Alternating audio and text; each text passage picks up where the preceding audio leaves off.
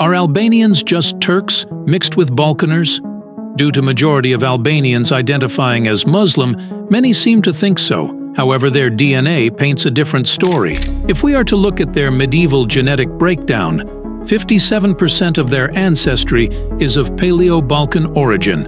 Paleo-Balkaners include ancient civilizations such as Illyrians and ancient Greeks, and are characterized by being mostly of Neolithic Anatolian farmer ancestry and being about one-third Western steppe herders. 23% of their admixture is derived from ancient Greco-Anatolians who are virtually of entirely Anatolian farmer ancestry with only possible minor Iranian farmer admixture. Finally, 20% of their genome is associated with Slavic tribes who invaded south into the Balkans.